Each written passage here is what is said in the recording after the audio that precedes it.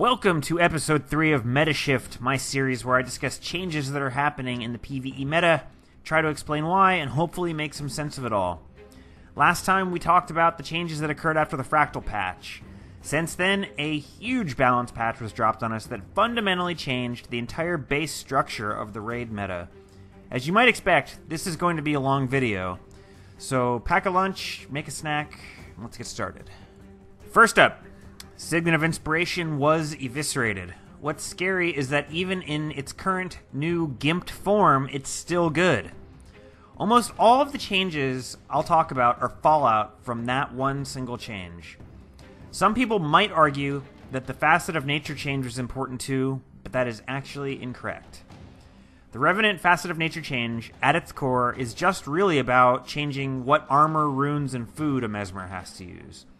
Signet of Inspiration, however, is fundamental. A less visible, but still important change was the cap of 5 stacks of quickness per character. This means that you want the individual stacks of quickness to be as large as possible. The result is that small stack quickness is unwanted, and in fact, Time Warp doesn't really do much, and Mesmers no longer use Time Warp. So, what does the world look like with this with the SOI change in practice? Um, well, a bunch of things actually. Let's start with squad composition.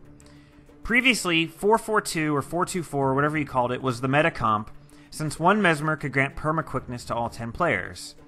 The 5-5 mirror comp was also viable, but relied on the perma alacrity to make up for the change of a Rev to a Mesmer.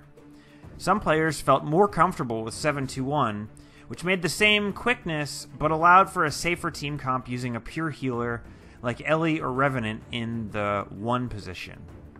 While technically you can kill all the bosses with, with any comp, and truthfully you could run double Mesmer and 7-2-1 for perma quickness, the point is that the meta comp moving forward for organized groups will be a 5-5 mirror comp. This is the only comp that can achieve permanent quickness and still bring four DPS oriented characters who all receive full buffs. The change from 442 to 55 has a lot of sub repercussions when it comes to the individual professions.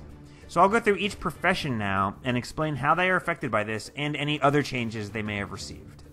Well, Mesmer is the obvious starting place. Um, Mesmers cannot rely on a Revenant anymore for Facet of Nature, so they have to gear in order to achieve 100% boon duration all by themselves. With Concentration Sigil and boon duration food, Mesmer needs about 37, well, needs exactly 37% boon duration from gear. The most ready solution is uh, almost full Berserker using leadership runes, a platinum doubloon, and a few pieces of commander's gear to get you to the exact 37%. For tanky specs, you can use scholar runes or leadership runes and enough commander's gear to hit 100% and your desired toughness level. There's really no single right answer on how to gear for tankiness, and honestly, since two Mesmers are going to be in every group from now on, and one has to tank, it will pay to be able to be versatile and play either glassy or tanky as needed. Some groups want their tank to only have one piece of toughness gear, others want 1404 toughness to avoid warrior res traits, and yet other groups will want a Mesmer tank who has maximum defenses, as much toughness as they can get. So, yes, versatility in your gearing will be the key. Additionally, most Mesmers are finding success trait wise swapping out the illusions trait line for domination as the signet cooldown trait synergizes significantly better with the current rotation. Alright, so let's talk about the Revenant. Many people, even people in top guilds, are calling this the death of the Revenant. Mesmers are using 100% boon duration now, so Revenant isn't needed in a 5-5, they say. In theory, it's true that there isn't a huge need for Revenant. Uh, but it turns out that, curiously, Revenant plays some roles that are still valuable. With the change to SOI, the Mesmer is spreading out fewer stacks of might, and a PS Warrior cannot might cap his team on his own, unless he significantly gimps his build to produce extra might. So some amount of trace might is needed to supplement the warrior. Revenant fulfills this role well. Even without activating Facet of Strength, Revenant produces about 4 or 5 stacks of might passively for his squad.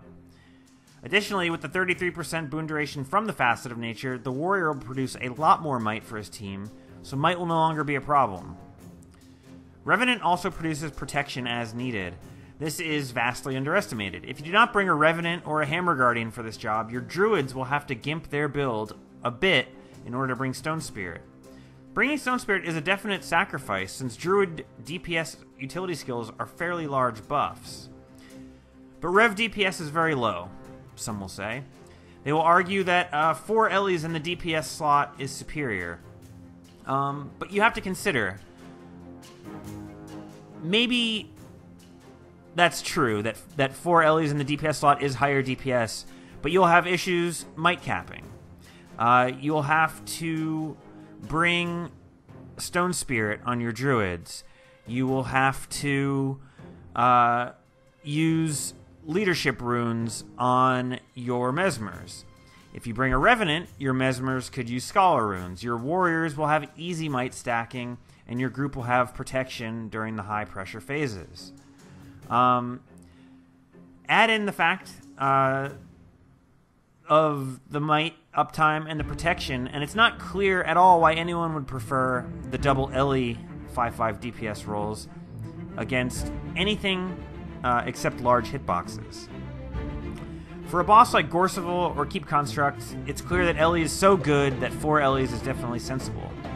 But most teams will get far, far more out of a Rev or a Guardian in the second DPS slot uh, in each group then a second Ellie.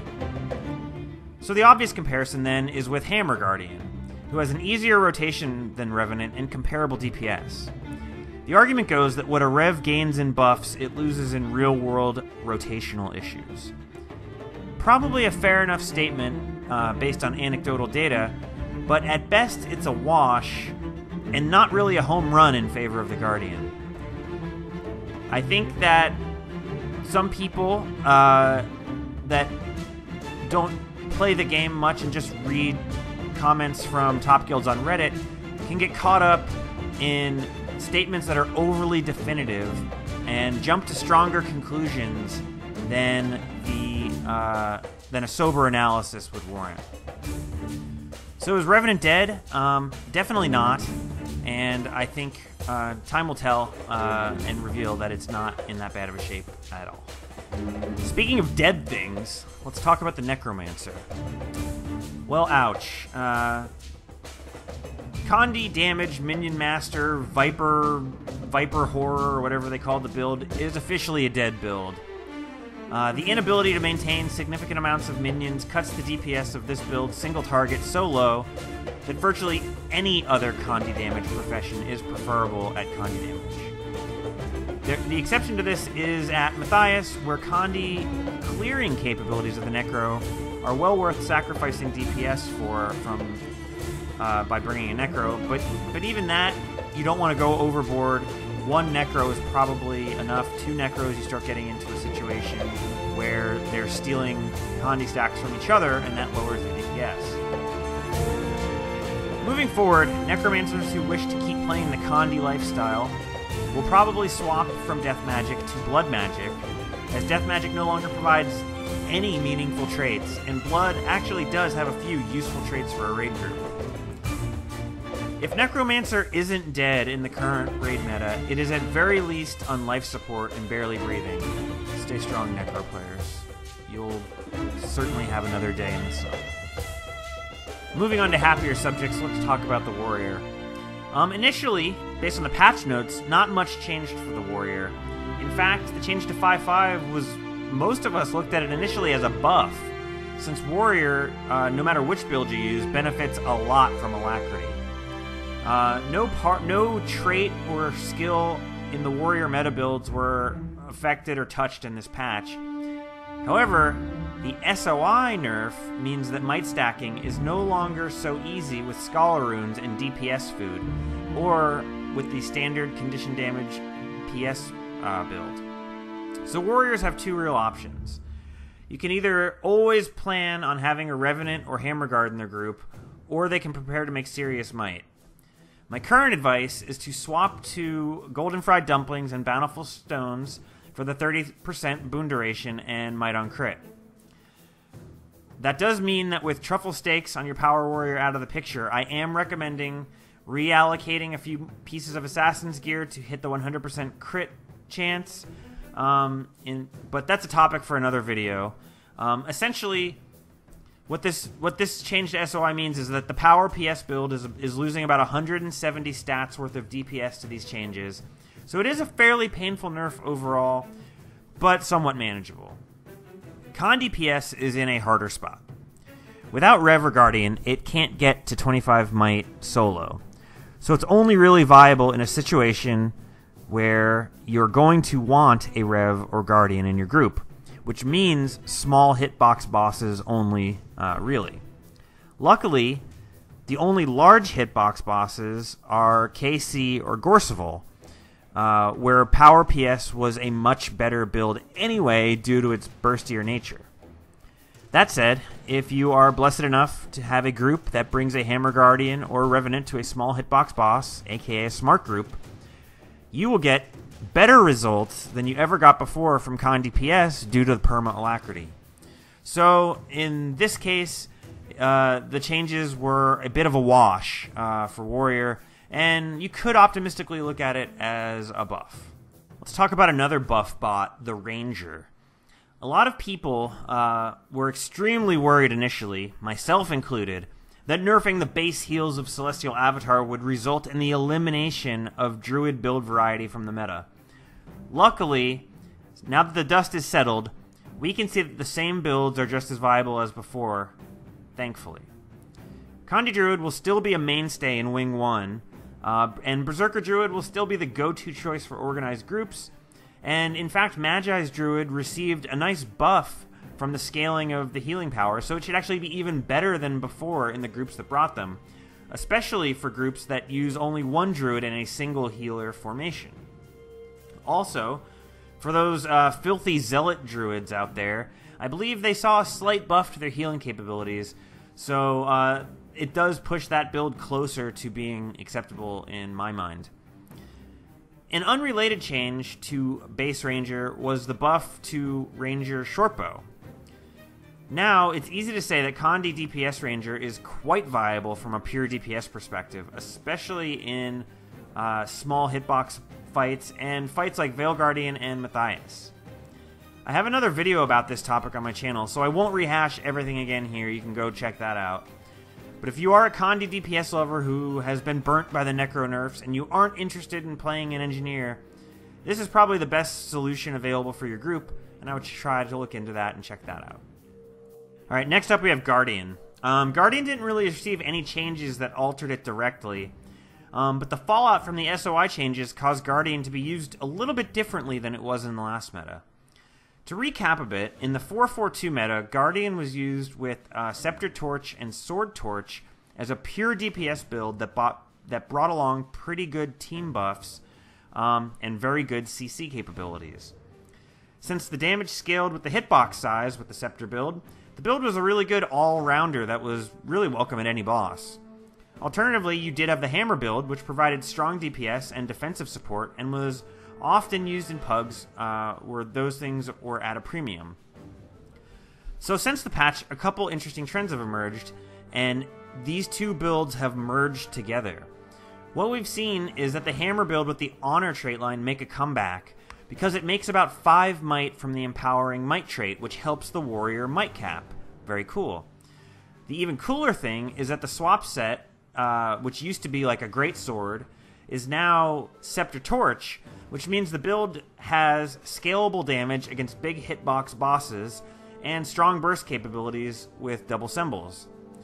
Guardian is well worth a DPS slot in the 5-5 comp now, if not two, one in each group, and if anything, its position in the meta has greatly improved.